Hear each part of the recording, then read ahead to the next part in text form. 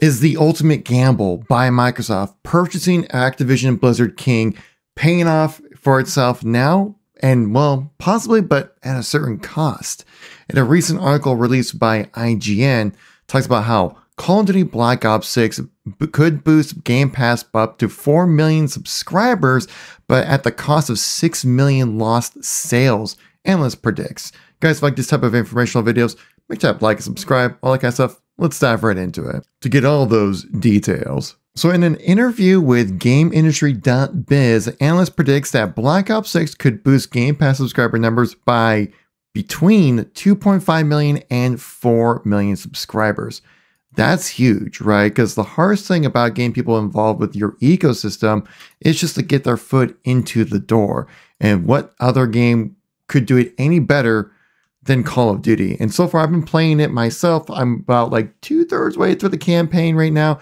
And so far, I'm really enjoying it. It's been getting a lot of great reviews as well with this game. And I mean, Call of Duty, even though people would like to trash on this game as much as they want to because of it being such a popular game, but the thing is like this game always hits like top selling games of the year. So the thing is that we can really get a chance to see how effective games pass is when it comes to ga- this kind of uh, game of Call of Duty because we've had such a long history of showcasing the engagement of the player base, how many, how much money they make off of the game as well, and how many game units are sold. This is reported every year in public uh, hearings by Activision, so we can actually look in the past and see like how Game Pass has actually affected the sales of this, because that's always been a huge thing about like especially from even fellow CEOs of these game publishers. With former PlayStation CEO Jim Ryan saying that he viewed Game Pass as value destructive and that Microsoft is losing money on it.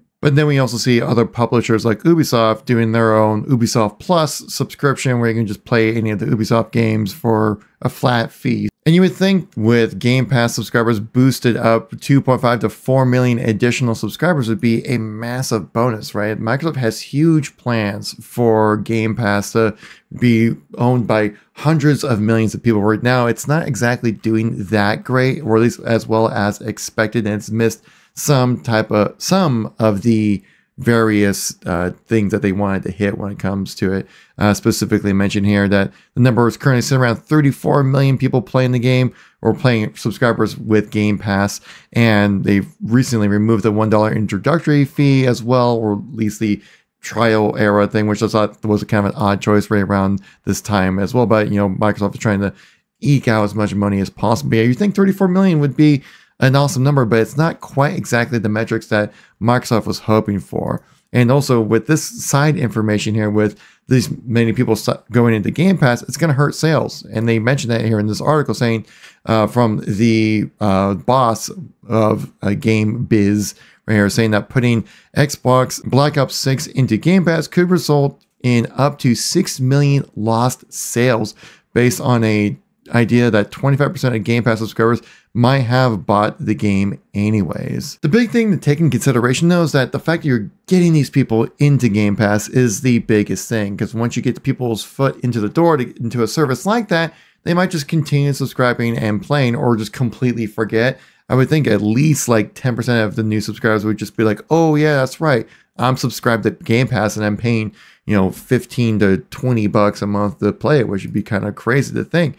But that's what the power of Call of Duty has to offer for Xbox now that it's officially an Xbox titled game now. So it's gonna be really interesting to see like how this all plays out.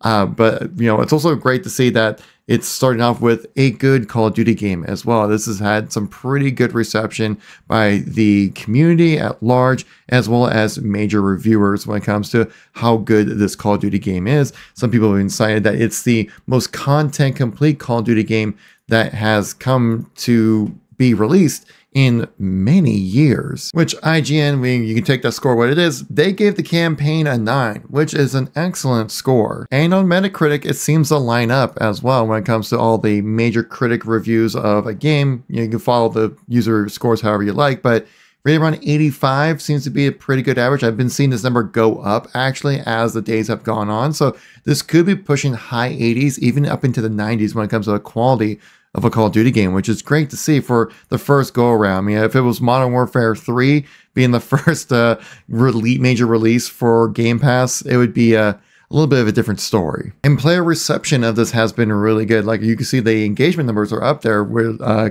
Okami posted this up saying that Call of Duty Black Ops 6 peaks at 306,000 plus concurrent players on Steam alone during the launch weekend, saying this is the highest player count in two years since the initial relaunch on Steam in 2022. Again, this isn't the be all end all numbers. Any Halo fan can tell you that, but um, it's important to see like what the trend is when it comes to the game releases. Because if you look at Steam charts here, you can kind of get the idea of what the trend has been for the Call of Duty launcher and how people have been engaging with it. Let me take out my webcam so I can show you what I'm talking about. So for the last 30 days, we've seen a pretty significant increase when it comes to player counts, right? Peak concurrent doubling what it was up back in September, right?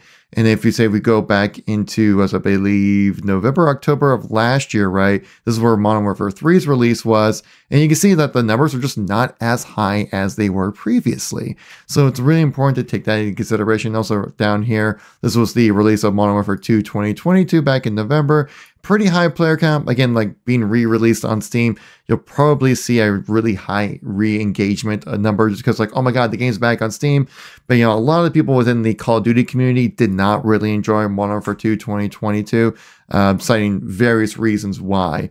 Uh, but also when it comes to just general sales, like kind of getting back into the sales side of things, but also kind of seeing how player engagement has been when it comes to Call of Duty saying that no surprise that Call of Duty Black Ops 6 is the number one paid game on the Xbox store as well. So even though uh, Game Pass subscriptions have gone up, people are still buying this game on Xbox as well by itself. So there might be some cannibalism when it comes to overall sales, as we talked about earlier, but people are still buying this game a lot on the console platform as well. So very important to keep that in mind when it comes to the most popular games on the console, what are people playing, how are they engaging with it.